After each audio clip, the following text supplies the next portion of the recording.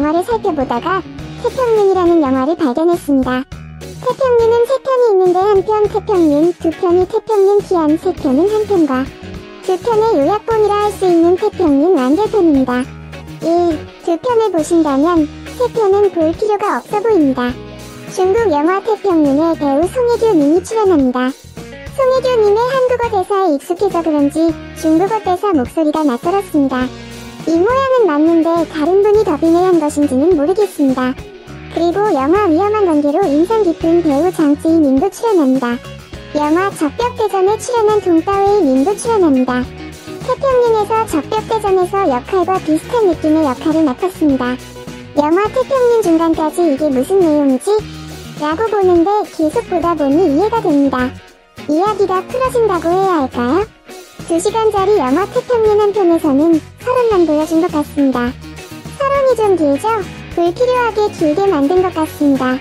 그러니까 태평윤 3편이 나온 거겠죠? 알았다면 3편을 보았을 겁니다. 궁금해서 한 편부터 보았더니 일이 되었습니다. 전쟁 장면, 군인들이 등장하는데 중국 역사를 알면 좀 더 공감할 수 있을 텐데 중국에도 6.25 전쟁 같은 내전이 있었구나 정도로만 이해를 합니다. 6.25 전쟁처럼 큰 전쟁은 아니지만 6.25 전쟁과 전혀 관련이 없다고는 할 수 없을 것 같습니다. 영화 태평윤 줄거리는 영화 시작 전쟁 장면과 군인이 등장합니다. 송혜교 님이 연기한 여성이 군인과 만남을 시작합니다. 이 두 명의 삶을 중심으로만 보여주는 것이 아니라 여러 인물들의 삶을 보여줍니다. 왜 여러 인물들의 삶을 보여주었는지 두 편에서 점차 알아갈 수 있습니다. 영화가 끝날 때 두 편에 대한 간단 줄거리가 있습니다. 스포일러가 되지 않기 위해 영화에 대한 상세한 줄거리는 생략합니다. 송중기 송혜교 이혼 소식으로 각종 찌라시 루머들이 양산되고 있습니다. 특히 송중기 탈모 사진 이슈는 참 솔직히 그 키워드가 네이버 검색어 상단에 있는 걸 보고 어이가 없었습니다. 한편으로는 누군가 일부러 검색어 상단에 배치해놓은 느낌을 지울 수 없었는데요. 송중기 탈모 이슈는 송혜교와 결혼하기 전부터 있었습니다. 특히 군입대 사진을 보면 알 수 있죠. 그리고 송혜교 중국 스폰지라시는 참 안타깝습니다. 아무래도 송혜교가 중국 시장에서 큰 성공을 거두었기에 이런 추측을 하는 것 같습니다. 관련 내용을 잠시 보자면 송혜교가 중국 유명 회장에게 스폰을 받아서 중국에서 성공했으며 최근에는 스폰으로 받은 홍콩 집을 매각하려다 송중기가 알아채는 바람에 이혼 사유가 되었다는 내용인데요. 누가 보아도 소설인 걸 알 수 있습니다. 송혜교는 데뷔 시절부터 큰 성공으로 부호가 된 인물 중 한 명입니다. 특히 부동산에 관심이 많아 적절한 투자로 큰 부를 쌓을 수 있었는데요. 2016년 기준 송혜교가 가지고 있던 삼성동 주택만 하더라도 약 90원의 가치를 가지고 있었습니다. 이런 송혜교가 결혼까지 한 상태에서 위험을 무릅쓰고 뭐가 아쉬워서 스폰을 받았을까요? 이혼으로 가장 가슴 아픈 건 당사자 본인들입니다. 이런 찌라시와 루머들이 없어졌으면 좋겠네요. 그럼 이만 포스팅 마치도록 하겠습니다. 튜브 채널 가로 세로 연구소에서 송중기와 열애설이 불거진 여자 변호사에 대해 언급했다. 가세연은 해당 여성은 검사 출신의 변호사이며 김세혜 대표의 10년 후배이기도 하다라고 송중기와 열애설에 휩싸인 변호사 A씨에 대해 설명했다. 이어 해당 변호사의 이력이 훌륭하다. 대한민국 3대 로펌에 들어갔으며 KBS 다큐멘터리 3일에도 나와서 미모로 화제가 됐다고 덧붙였다. 강용석 변호사는 사실 이분이 돌싱이다라고 폭로했다. 당황한 김세혜 전 기자는 갑자기 훅 치고 들어오셨다. 저보다 10년 아래 고등학교 후배다. 전혀 모르는데 후배들에게 연락을 받았다. 동기와 2017년경에 결혼을 했다가 지난해 연말 혹은 올해 초에 이혼한 상태라고 거들었다. 김용호 전 기자는 사실 송중기와 송혜교가 이혼 소송을 맡았던 법무법인이 이 여성이 재직하는 곳이다.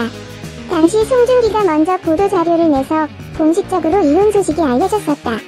이어 핵심 관계자에게 들었는데 송중기 담당 변호사가 식사를 하다가 이 여성을 불러 인연이 시작됐다.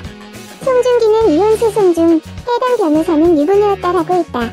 이들은 아무리 유부녀라도 송중기와 식사 자리라면 나가죠. 강영석은 우리 집사람에게 나갈래? 하면 나갈 것이라고 말하기도 했다. 가세연은 사귀고 아니고는 개인적인 일이라 관계가 없지만 남녀 간의 만남이 사실은 송중기 입장에서 이혼 소송 중이었고 송중기의 이혼에 많은 사람들이 안타까운 시선을 보냈었다. 송중기 생가의 태양 이후의 관련 전시물과 사진이 모두 사라졌다는 보도가 이어지고 있다. 이어 송중기 송혜교 송송 커플이 태양 이후로 인연을 맺은 만큼 송중기 생가를 관리해오던 송중기 아버지가 온적으로 흔적을 지은 것이 아니냐는 추측이 이어졌다.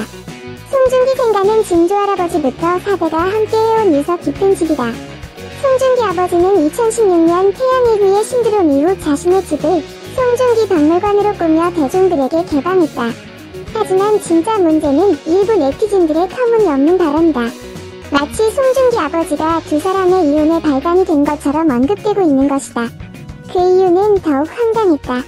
유별나게 송중기 생가를 관리해온 것도 그렇고 이혼 소식이 전해지자마자 며느리였던 송혜교 흔적을 가장 먼저 생가에서 지운 것이 예사롭지 않다는 것이었다.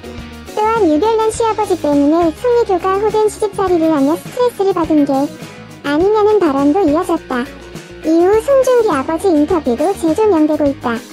송중기 아버지는 2017년 스포츠 경영과의 인터뷰에서 며느리가 될 송혜교 나이가 많은 게 조금 아쉽다라며 속내를 밝힌 바 있다. 하지만 분명히 밝혀야 할 부분이 있다.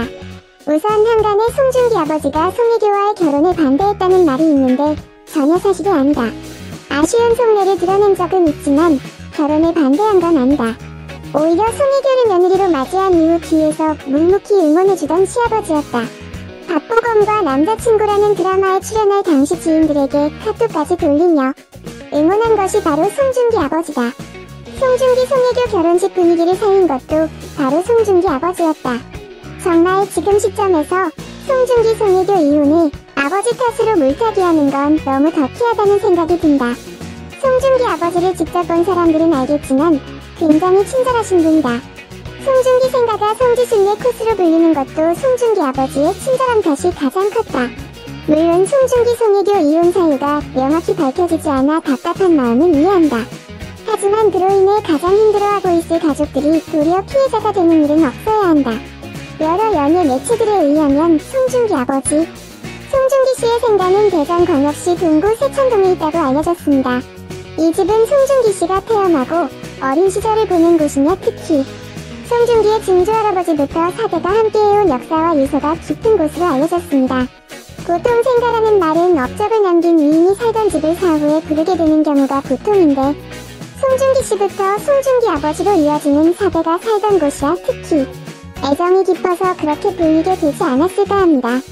송중기 아버지는 송중기 씨의 어렸을 적 인터뷰도 했는데요. 송중기 씨가 5살이 되던 때에 교육을 위해서 대전 시내로 이사를 나갔다고 합니다. 그러나 송중기 씨의 조부모님은 계속 남아 계시다가 3년 전 2017년 인터뷰이니까 2014년입니다. 돌아가셨다고 하는데요.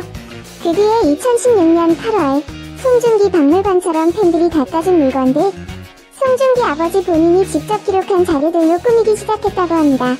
하지만 송중기 씨와 송혜교 씨가 이혼 절차를 밟게 되자 송중기 생가에는 태양의 후예의 기록물들이 없어졌다고 27일 DT뉴스 24에 보도가 있었는데요. 원래는 TVN, 아스타 연대기, 군함도 등 송중기 출연작에 현수막이 걸려 있었지만 송혜교 씨와 함께 출연했던 태양의 후예의 자료나 현수막들 그리고 송혜교의 사진이 없어졌다고 합니다.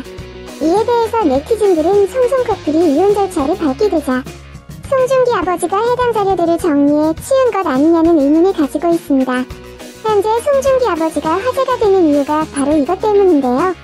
이것 때문에 과거 송중기 아버지가 송중기 씨의 결혼에 관한 스포츠 경영과의 인터뷰도 다시 회자되고 있습니다. 당시 송중기 아버지는 인터뷰에서 송중기의 결혼을 반대한 것은 아니지만 신부의 나이가 많은 게 조금 아쉽다라고 속마음을 표출한 적이 있는데요. 그럼에도 송중기 아버지는 당연히 축하할 일이고 중기가 가장으로서 책임을 질 수 있는 사람이 되길 바란다라고 말했습니다. 실제로 송중기 씨의 결혼 후에도 며느리 송혜교를 위해서 송중기의 아버지는 지인들에게 문자를 보내 송혜교의 결혼 후 첫 드라마인 남자친구의 홍보를 하기도 했습니다. 송중기 아버지는 꼭 본방 시청해주시라면서 며느리 사랑은 시아버지라고 했던가요? 며느리 드라마가 잘 돼 전 세계에서 더욱 사랑받는 배우가 되었으면 좋겠다라는 게 시아버지의 마음이라고 밝힌 바 있었는데 이런 정성을 보니 송송 커플의 이혼 소식이 더욱 안타깝습니다. 한편 일부 네티즌들은 송중기 씨와 송혜교 씨의 성장 과정에 있어서의 차이점이 영향을 미치지 않았냐고 하는 의견도 있는데요. 송중기 씨는 위에 적었다시피 송중기 아버지와 함께 사대를 내려오는 유서 깊은 집안을 가장으로 성장했지만 송혜교 씨는 부모님이 일찍 이혼을 했으며 어머니 밑에서 성장했고 알려졌습니다. 이런 송중기 아버지의 인터뷰나 송혜교 씨의 과거를 봤을 때 두 분의 집안 환경은 많이 달랐다는 것을 알 수 있습니다. 다만 이러한 차이가 두 분의 결혼 생활에 영향을 미쳤는지는 두 분만이 아시겠죠? 볼만한 오우성 감독 영화를 살펴보다가